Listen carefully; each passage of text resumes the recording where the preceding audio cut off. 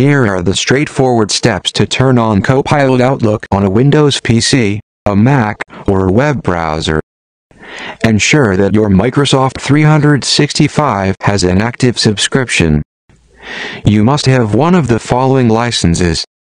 Microsoft 365 Copilot, Microsoft 365 E3 Plus Copilot add-on last is Microsoft 365 Business Standard Premium Plus Copilot add-on. In addition, ensure you're using the new Outlook on Windows, Mac, or Outlook on the web. To check it and enable it on your Windows, open the Settings app. Here's the Copilot setting, as you can see. Click on it and enable the toggle, Turn on Copilot for the account you added in your Outlook app. If it's not shown, then check the app version under General. Click on About Outlook and check the Microsoft Outlook versions. If older then update it now, if it's not updating, then uninstall and reinstall on your system. To apply the changes, a restart of the application is required.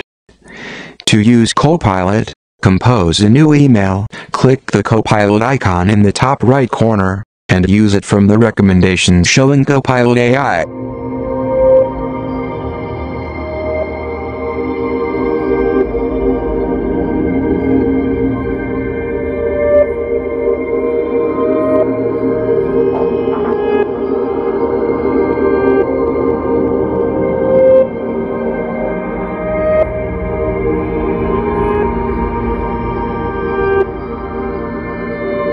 Mac, launch the Outlook app. The steps are the same for MacBook Pro, MacBook Air, and iMac. From the top menu, click on Outlook and Settings. Select Copilot, turn on the Copilot toggle to enable AI while we compose a new email, forward, or reply. Under the draft, enable the toggle, use custom instructions when drafting email. Force quit the Outlook app and reopen it to sync the Copilot in the Outlook app. Here's the Copilot icon. Outline your message, then try Copilot or press the Ctrl and L keys on your keyboard to get suggestions. As you can see, Copilot suggests the content with customization options at last.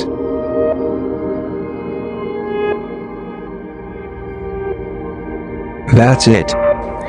To use an Outlook web, go to Outlook.com on your browser and log in with your Outlook account. If you have an active subscription, then Copilot is included in your Microsoft 365 subscription.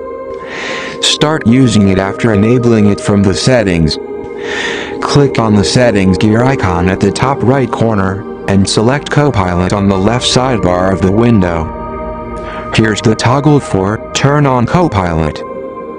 That's it. The Copilot option appears while we compose a new email.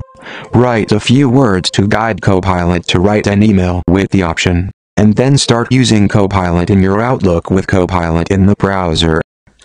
I hope you liked this video. Please like, share, and subscribe for new video updates.